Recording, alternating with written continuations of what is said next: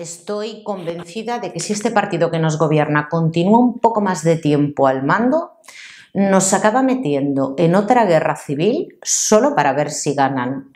Volverían a perder de nuevo. Keipo de Llano, militar de la época de la Guerra Civil Española, ha sido retirado sus restos, lo que quedaba, de la Basílica de la Macarena y también su esposa que estaba enterrada junto a él no ha sido suficiente para los que se consideran víctimas de este hombre que lleva 71 años muerto. Falleció en 1951, es decir, que si alguien nació en 1951, en la actualidad tiene 71 años, ya tiene nietos y en algunos casos bisnietos pero todavía hay alguien que se considera víctima de eso y no les ha parecido suficiente porque esto se ha hecho con nocturnidad de la madrugada del 2 al 3 de noviembre, casi haciéndolo coincidir con el Día de Todos los Santos. Y es que a este gobierno le encantan las fiestas, como la de Halloween, e ir moviendo, intercambiando a los muertos de sitio. Claro, no ha sido suficiente porque esas supuestas víctimas se encontraban solas. Insisto, víctimas directas de un hombre que murió hace 71 años ya no quedan entre nosotros. Y si alguien se considera víctima, con todo mi respeto fingido le diré que tiene un problema, porque ha nacido y su familia le ha ido inoculando la semilla del dolor y de la venganza y ha dedicado toda su vida a este momento, a la retirada de los huesos o de lo que quedaba de este hombre y que, como decía algún medio de comunicación escrito, que se lanzaran al río. Y claro, no ha conseguido. Pues vaya pérdida, vaya pérdida de energía de verdad. ¿Por qué estaban solas las víctimas si es que había alguien, supuestas víctimas indirectas de lo acontecido en la Guerra Civil Española?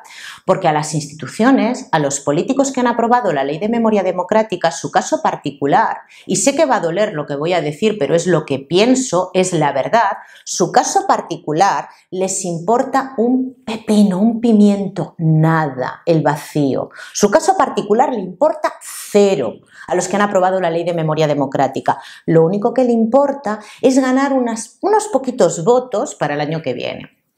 A los familiares de Keipo, lógicamente, les importa su familiar aunque haya sido la peor persona del planeta. Y al resto de los españoles que vivimos en el año 2022, a finales de este año, su caso particular nos importa cero de la misma manera porque vivimos en el presente, tenemos nuestros propios dramas personales y nuestra propia intrahistoria. Así que lamento mucho a alguien que vive con el rencor y el dolor de lo que pasó hace 71 años, que es que manda narices, manda narices, que a esto le llamen reparación, 71 años después. Pero es que a este gobierno le encanta coger un palo figurado y rascar entre la mierda seca para ver si vuelve a oler, para volver otra vez a levantar los dos bandos. ¿Y cómo lo hacen? Creando esta ley de memoria democrática, borrando una parte de la historia y haciendo algo que a los políticos no les compete, que es reescribir la historia, contarnos su versión de lo que pasó y contársela también a los niños en los colegios con la vana esperanza de que algún día esos niños crezcan con la lección muy aprendida y voten a un gobierno comunista. Claro, y los que decimos lo contrario y los que seguimos diciendo que lo que pasó en la Guerra Civil Española fue una auténtica desgracia, que hubo víctimas de ambos bandos y que no tenemos que olvidarnos de lo que pasó realmente para no volver a repetir la historia, somos unos fachas y nos colocan, como no, en el bando de los nacionales, aunque nuestros antepasados incluso hayan luchado en el bando de los republicanos. Pues así estamos, señores. Y mientras tanto, ¿qué pasa? Se intenta adoctrinar a los más jóvenes y desde este gobierno se nos crean problemas ficticios a los que ellos luego nos dan una solución. Una solución con nuestro dinero, por supuesto. Este gobierno se ha dedicado, desde que ha puesto el pie en las instituciones, a decirnos lo que está bien, lo que está mal, hacer y pensar. Sobre todo pensar. Esto es lo que tienes que pensar y por tanto lo que tienes que hacer y así serás buena persona, serás de los nuestros y si piensas de esta manera, pues eres un facha una mala persona, un asesino, todo lo peor. Quieres que las minorías estén muertas, todo lo peor, lo que dice Pablo Iglesias desde el programa de la base. Cuando no estás de acuerdo con ellos, eres el enemigo. Y claro, la sociedad ahora se ha convertido en una especie de juzgador de calle. Vas y dices algo que no está de acuerdo con la mayoría y ya eres una facha. Es que te desean lo peor, quieren que desaparezcas, quieren que te calles, aunque por dentro cuando están solos en su casa y un poco de sentido común llama a su oreja, le dice, y a lo mejor tenía razón, pero da igual, yo tengo que ser buena persona, tengo que decir las cosas como son. Y todo esto aderezado con la perspectiva de género. ¿Para qué? Para que los hombres se callen, para que los hombres, los hombres bajen un poquito la testosterona. Porque sí voy a decir algo que a muchas feministas les va a doler, pero las mujeres somos más fácilmente manipulables que los hombres porque somos más emocionales y esto duele. ¿Qué pasa ahora? A los hombres se les calla. ¿Con qué? Con la ley de violencia de género. ¿Y qué pasa cuando un caso como el de Olivia dice, madre mía, que quizás esto, esto no es del todo cierto, que es que a lo mejor los hombres y las mujeres cometen los mismos actos, que hay una media? Entonces, ¿qué pasa? Que sale Victoria Rosell, la que pretendía ser miembro del Consejo General del Poder Judicial, una jueza que conoce sobradamente la ley y que como jueza que sabe cómo se dictan las sentencias y el margen tan pequeño de maniobra que tiene un juez con esa ley.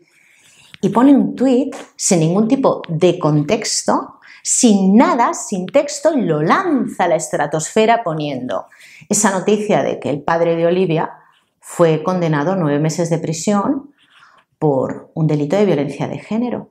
Después de lo que ha pasado hay que tener los santos bemoles y la cara dura de poner eso después de lo que está pasando este hombre. Es como leía en Twitter.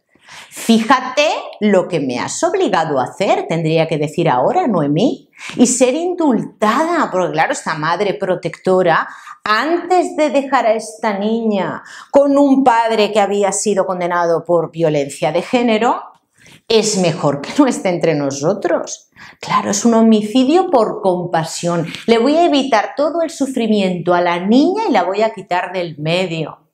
Este gobierno lo que hace es intentar que todos veamos que el cielo es de otro color totalmente diferente, que no es azul, que no es gris, que es verde. Y todos tenemos que decir que es verde. Y si alguien dice lo contrario es mala persona y merece el desprecio público. ¡Qué asco! Me parece vomitivo que alguien se atreva a insinuar, a señalar a ese hombre como responsable de nada en este momento.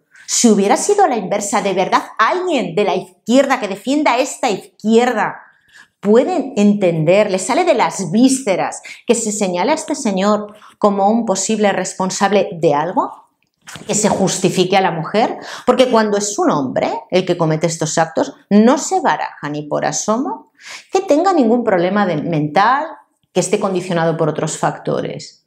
Es un demonio, punto. Cadena perpetua, lo que quieras. Pero cuando es una mujer, no, tenemos que justificarlo porque, claro, esta mujer quizás estaba tomando algún tipo de medicación, no está bien, sale como una pobrecita, como una víctima del hospital, manda narices este gobierno.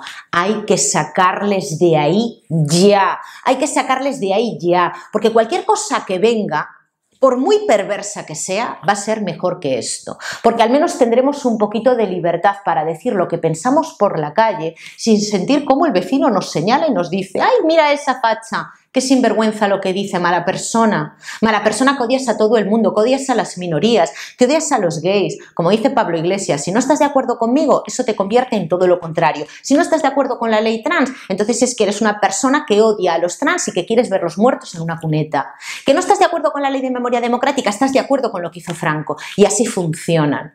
En fin, lo voy a dejar aquí porque es domingo, vamos a disfrutar lo poco que queda de fin de semana y de verdad pensamiento crítico, respeto al vecino y que cada uno piense y diga lo que le dé la gana. Gracias por verme, de verdad agradezco enormemente que le deis me gusta al vídeo, que lo compartáis, que os suscribáis y como siempre os digo, un placer y nos vemos en el próximo vídeo.